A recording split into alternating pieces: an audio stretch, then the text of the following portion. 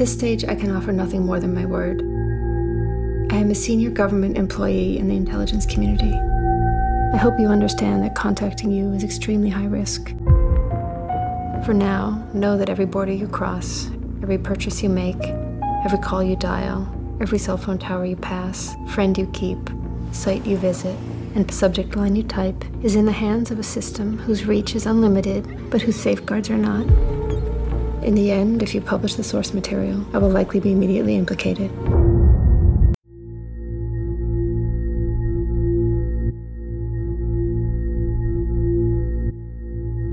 I ask only that you ensure this information makes it home to the American public. Thank you, and be careful. Citizen 4. Sorry, I don't know anything about you. Okay. Um, I work for. Uh, Sorry, I don't know your name. oh, sorry. I. Uh, my name is Edward Snowden. Uh, I go by Ed. Um, Edward Joseph Snowden's the full name.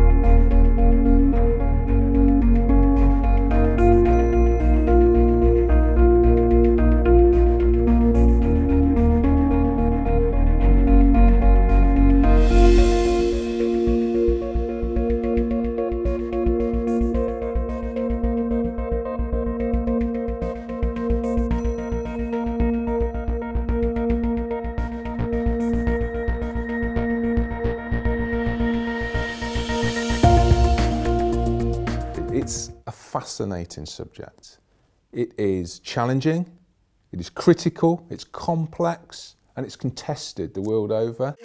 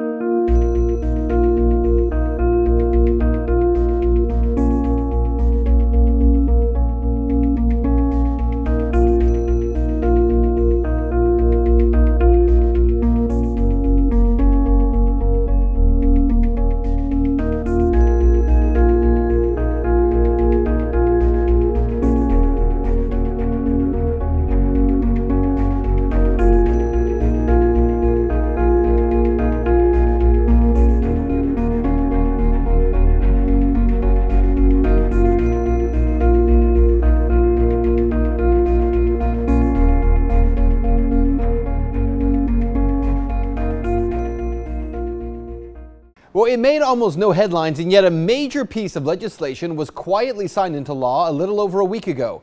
President Obama signed a bill that allows the U.S. government to combat foreign propaganda by creating its own. Let's take a look and give it a reality check. Well, a little over a week ago, President Obama quietly signed into law the 2017 National Defense Authorization Act. But so often there are additional laws and spending bills tucked into the NDAA, and this year was no exception. This time, it was something called the Countering Foreign Propaganda and Disinformation Act of 2016. Oh yes, this bill, which was on the Senate side, sponsored by Ohio Senator Rob Portman, is designed to combat what is called foreign propaganda from organizations such as RT.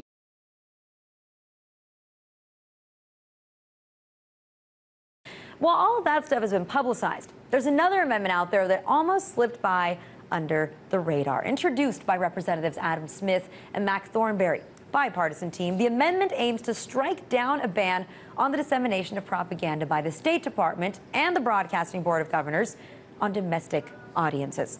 Now, some say this is creeping fascism. Others try to claim that offers transparency.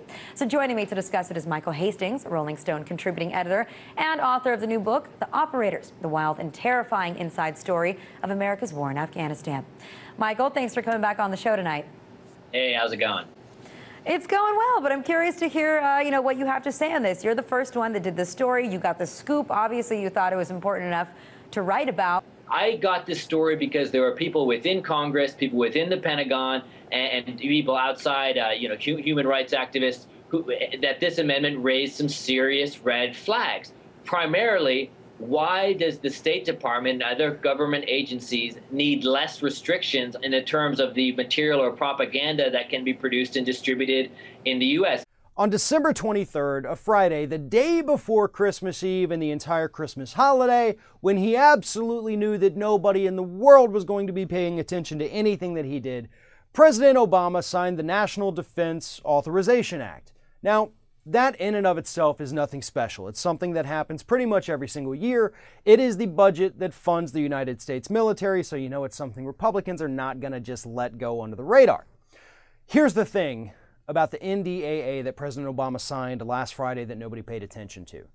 It specifically outlines in this legislation a, program for the federal government to create in is Section 1287, the Global Engagement Center. Well, there is now. That bipartisan bill will establish an interagency center housed at the State Department to coordinate and synchronize counter propaganda efforts throughout the U.S. government. The bill also creates a grant program for NGOs, for think tanks, civil society, and other experts outside government who are, quote, engaged in counter propaganda related work. But what this organization is going to do is fight foreign propaganda in the United States. They do not outline what constitutes as foreign propaganda, and it doesn't say that the propaganda has to be specifically aimed at interfering with the, the United States in general. Just get rid of foreign propaganda. And how are they going to do this?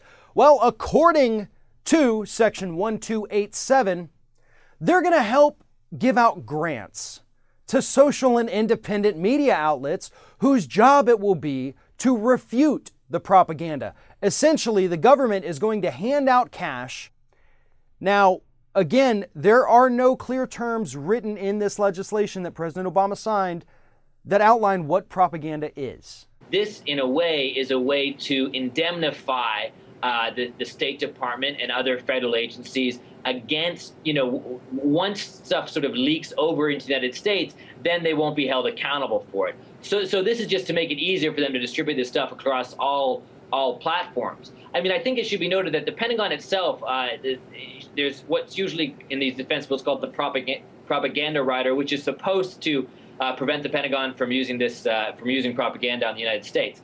Um, what shocks me is there is always now this is the second sort of uh, story that I've done over the past year, which deals with these sort of information operations that the government's running. And so much of the response from journalists uh, are, oh, this is not a big deal. This is what the government should be doing, which I always find quite incredible. Now, let's be clear. This is being sold as countering propaganda, but how do you do that? After all, if government agencies put out information to the public for the sake of altering a point of view, isn't that the very definition of propaganda? In fact, that definition is this information, ideas, or rumors deliberately spread widely to help or harm a person, a group, a movement, an institution, a nation, etc. So this law essentially funds U.S. propaganda. But isn't that illegal?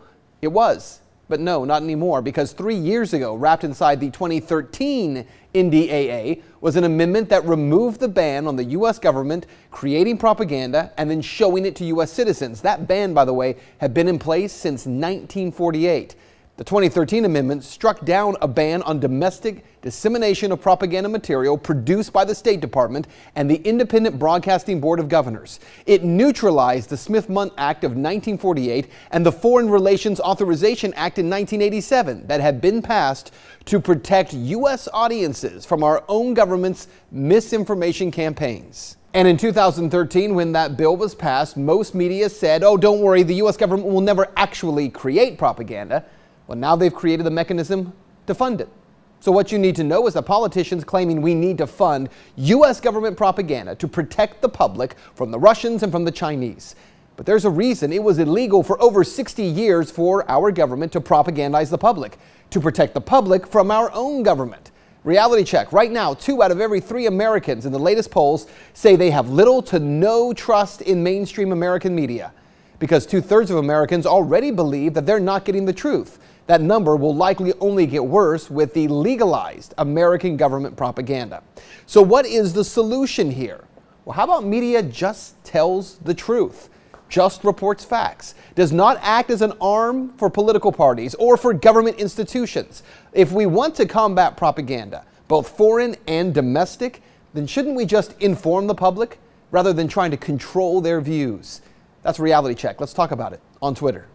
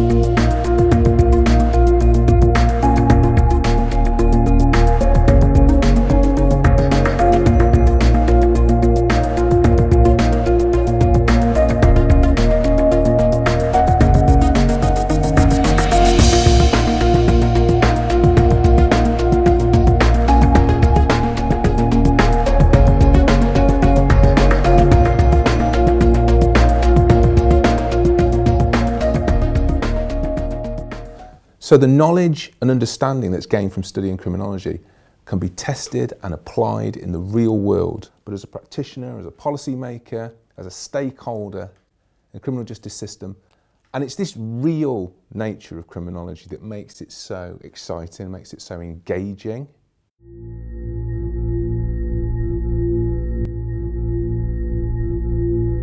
Thirteen hours. Tomorrow morning, a new movie will debut about the incredible bravery of the men fighting for their lives in Benghazi and the politicians that abandoned them. It's the true life story of a group of elite former military operatives stationed at a secret CIA base in Benghazi the night militants attacked. Tonight, the movie version of events already triggering fresh controversy from Hollywood to Washington and out on the campaign trail. And depending on whom you ask, it's either a tale of extraordinary heroics or another round of political crossfire. Compound in Benghazi. In Benghazi. Benghazi. Benghazi. It's a word that seems inescapable.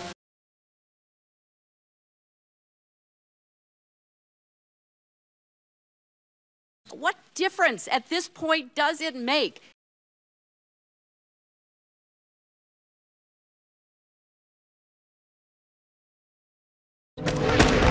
This was a really heroic night. Really heroic. I never knew that until I read the book and talked to these guys. In real life, the tragedy triggered massive investigations.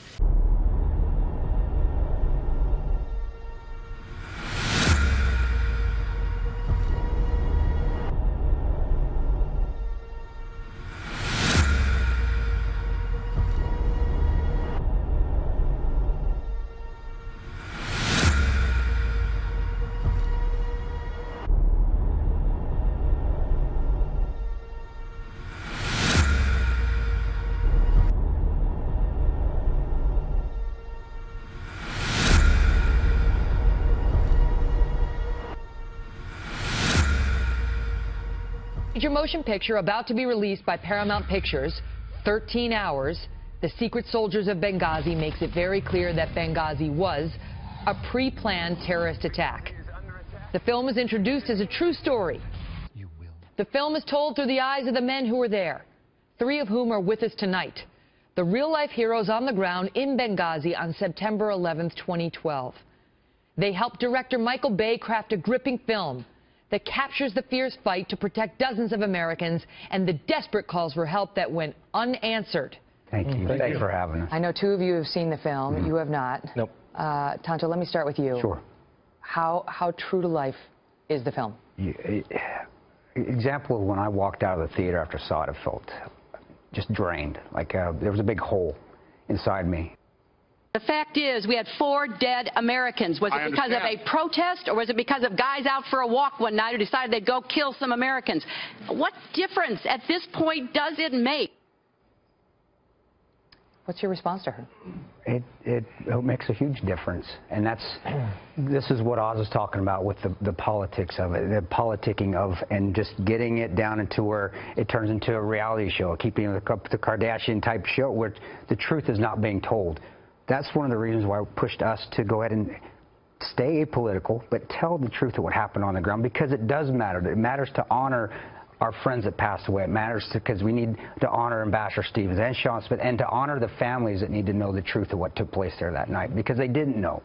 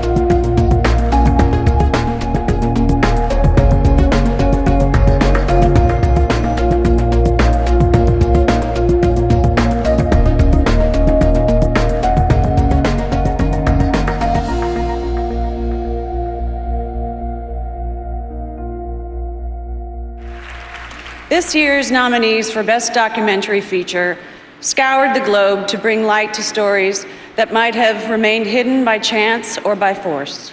Their efforts uncovered hidden beauty, gave voice to the voiceless, and dared to speak powerful truths.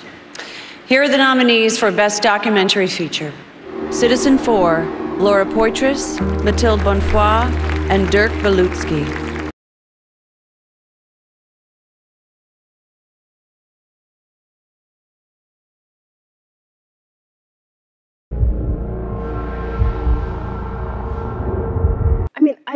Problem is this sort of use of classification to hide things from the public that shouldn't be hidden from the public, and that's the, that's the issue. All right, but first up, she is a filmmaker whose latest documentary, Citizen 4, is nominated for an Oscar and premieres on HBO February 23rd. Laura Poitras, hey! How you doing? Great to meet you. I'm a big admirer. Thank you. You're a very brave woman, and you deserve this Oscar. I think it's a fantastic movie. It's kind of a, a it's like a, a reality thriller.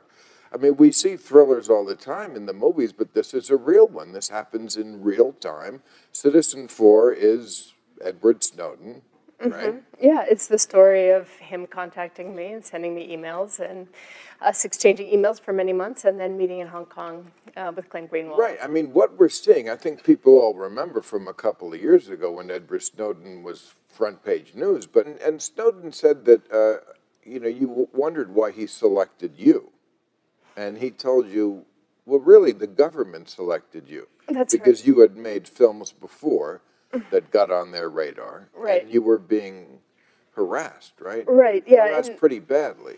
It was pretty bad. I mean, I made a film about the Iraq War, and after I released that film, I started being stopped at the U.S. border. I was put on a secret watch list and um, was detained every time I returned to the United States, which happened over 40 times. Snowden wouldn't. I mean, nobody. People aren't like lining up to become whistleblowers. what goes on in the hotel rooms, the meeting between you and Glenn Green, he involved Glenn Greenwald too. Mhm. And uh, I gotta say, I mean, you guys are just ballsy because you are hitting the biggest hornet's nest in the world, Mhm. The Yeah. United States military industrial complex, and living to tell about it. Yeah, I mean, actually, I didn't think I'd be sitting here to talk about Academy Award nomination. I thought Right. a lot of other risks that we that we were facing before we went to Hong Kong, but. Um, but you know, luckily, um, you know, things worked out, and um, and so the, the the film tells a story about um, first my being contacted by Snowden, and then and then being in the hotel room. Most of the film happens in the hotel with, Right. with Glenn. Uh, my name's Ed Snowden. I'm uh, 29 years old. I work for Booz Allen Hamilton as an infrastructure analyst for NSA uh, in Hawaii. I, I think that the public is owed an explanation of the motivations behind the people who make these disclosures that are outside of the democratic model. I'm, I'm no different from anybody else. Uh, I don't have special skills. Uh, I, I'm just another guy who sits there day to day in the office, watches what happening, what's happening, and goes, "This is something that's not our place to decide. The public needs to decide whether these programs and policies are right or wrong." And the Oscar goes to Citizen 4.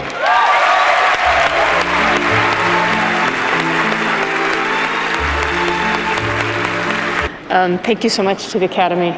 Um, I'd like to first thank the documentary community. It's an incredible joy to work among people who support each other so deeply, risk so much, and do such incredible work.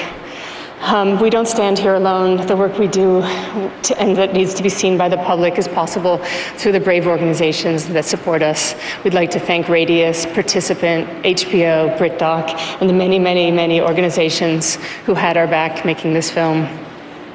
The disclosures that Edward Snowden reveals don't only expose a threat to our privacy, but to our democracy itself.